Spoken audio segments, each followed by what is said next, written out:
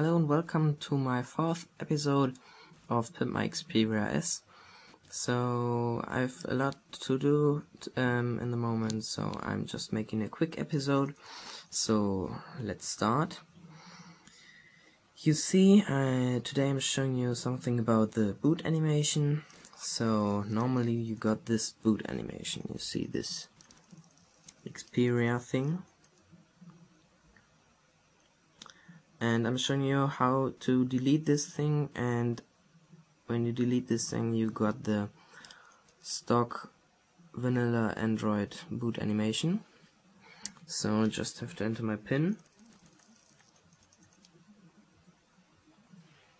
So when you boot it you go to your root explorer and then go again to your system directory and now to media.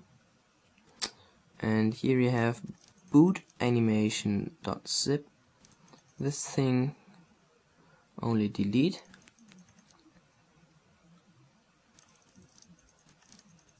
So now you can turn it off again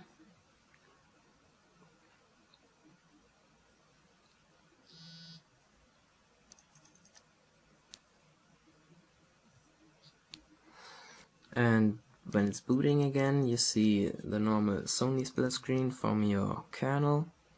And then you have the stock vanilla Android boot animation this Android thing.